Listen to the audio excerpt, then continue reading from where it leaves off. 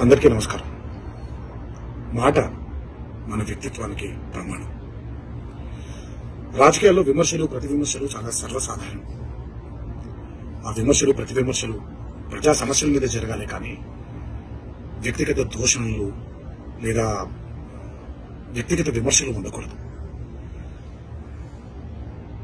నిన్న అసెంబ్లీలో జరిగినటువంటి ఒక సంఘటన నా మనసును కలిచివేసింది ఎప్పుడైతే మనం ప్రజా సమస్యల్ని పక్కన పెట్టి వ్యక్తిగత దోషణలకి దిగుతున్నామో ముఖ్యంగా మన ఆడపడుచుల గురించి పురుష పదజాలంతో మాట్లాడుతున్నామో అది ఒక అరాచక పరిపాలనకు నాంది పలుకుతుంది. అది తప్పు. స్త్రీ జాతిని గౌరవించడం అనేది ఆడవాళ్ళని ఆడపడుచుని గౌరవించడం అనేది మన సంస్కృతి. మన నవనాడుల్లో మన జవజీవాల్లో మన రక్తంలో ఇమిడిపోయినటువంటి ఒక సంప్రదాయం. మన సంప్రదాయాల్ని రాబోయే తరానికి జాగ్రత్తగా భద్రంగా అప్పచెప్పాలి కానీ మన సంస్కృతిని కలిచివేసి కాల్చేసి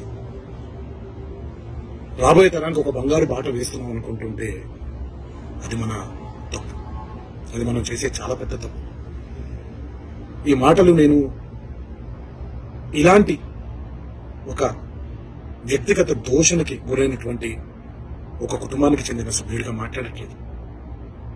ఈ మాటలు నేను ఒక కొడుగ్గా ఒక భర్తగా ఒక తండ్రిగా ఈ దేశానికి ఒక పౌరుడుగా సాటి తెలుగువాడిగా మాట్లాడుతున్నాను.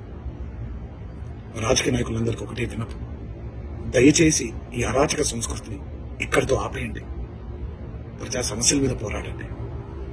రాబోయే తరానికి రాబోయే తరానికి బంగారు బాట వేసేలాగా మన నడవడిక ఉండేలాగా జాగ్రత్త పడండి. ఇది నా విన్నపం మాత్రమే. ఇది ఇక్కడితో ఆగిపోతుందని మనసారా కోరుకుంటూ సెలవు తీసుకుంటున్నాను.